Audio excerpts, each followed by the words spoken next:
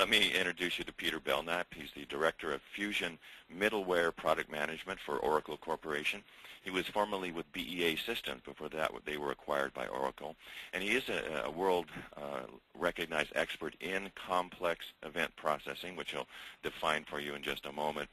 As you'll learn, this is becoming more and more important to uh, utilities, have been important to other industries for a while, but it's not an area that most utilities know uh, real well. So we're uh, lucky to have the chance to have Peter here to help us get acquainted and understand those ch challenges. Peter? Hi, Jesse. Thank you. Uh, thank you for the introduction. And um, and thank you also to Accenture for the, the chance to speak to you all today. Um, I think you guys can see, everyone on the call is probably pretty familiar with the challenges. Um, we all know that advanced uh, automatic meter readings are, are coming in 15 minutes instead of once a month. We're all aware that we're putting lots of new sensors out on the grid, that consumers are uh, demanding much, um, much more um, timely information about their usage, that uh, compliance requirements are rapidly evolving, that there are all sorts of new requirements coming at uh, the business requirements for IT uh, driven by smart grid.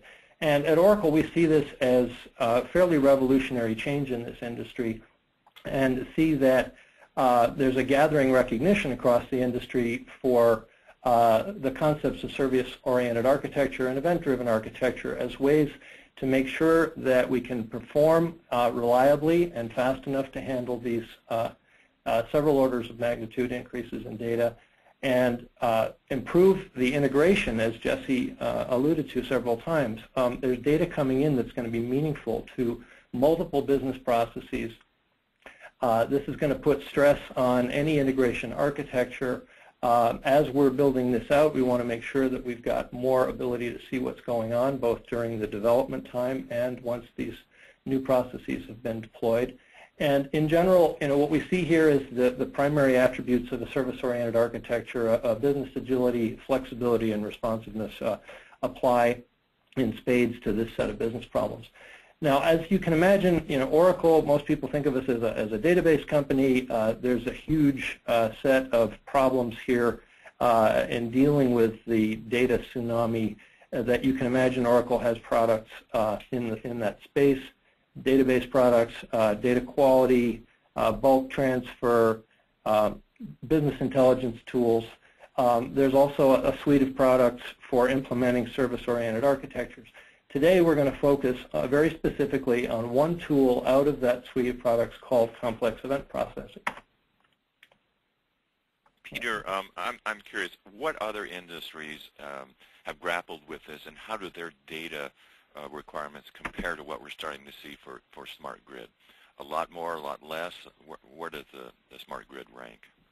Jesse, I'm uh, prepared to answer that as soon as the next slide comes up. I might need a little help from John here because I'm sure.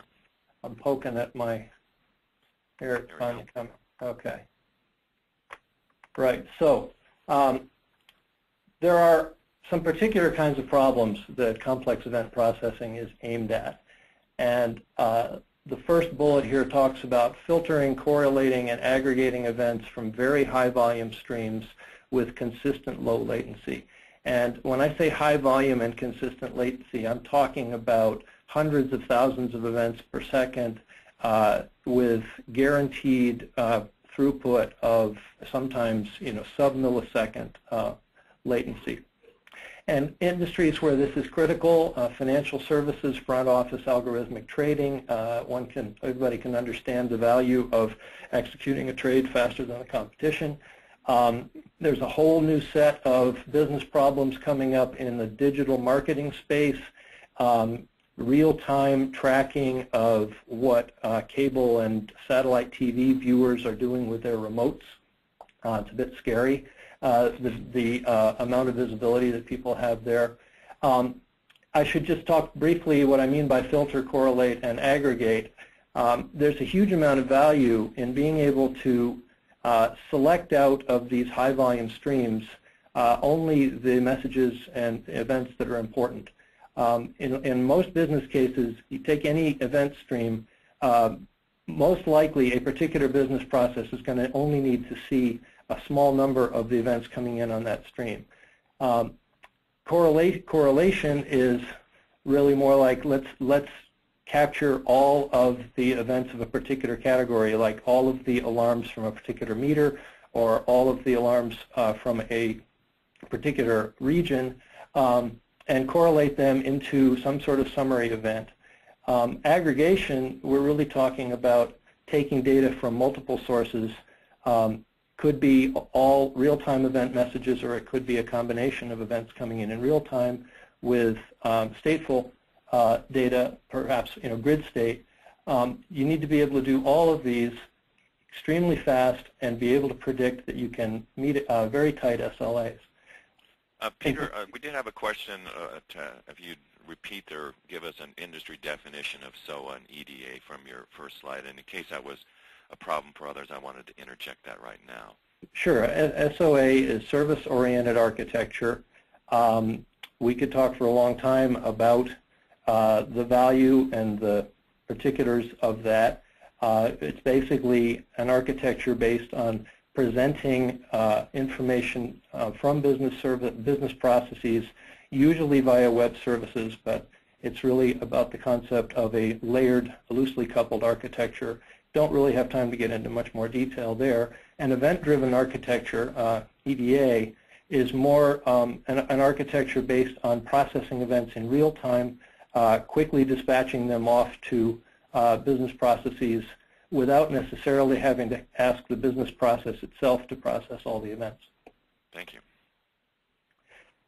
So we keep looking at other industries. I think in the utility space and in Homeland Security, the other example I have here, uh, the ability to handle um, events uh, the, and other data sources. So um, understanding the, the state of the grid when a meter alarm comes in, um, understanding um, where your mobile unit tracking, uh, where your mobile units are, uh, and, and being able to um, correlate um, motion from uh, one moment to the next changes in the state of your assets.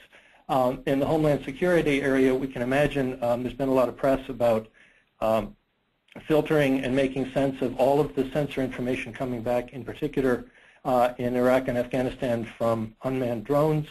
Uh, you need to correlate in real time information coming in with um, devices that are mobile and other states that you know at the same time. So what we're really trying to do here is come up with a tool that can filter this data, process these incoming events before you send them back into your database, before you pass them on to your business logic. This, in the end, will save you a ton of money both in storage space and in the cost of having to an upgrade or customize the application when you can do the data filtering up front.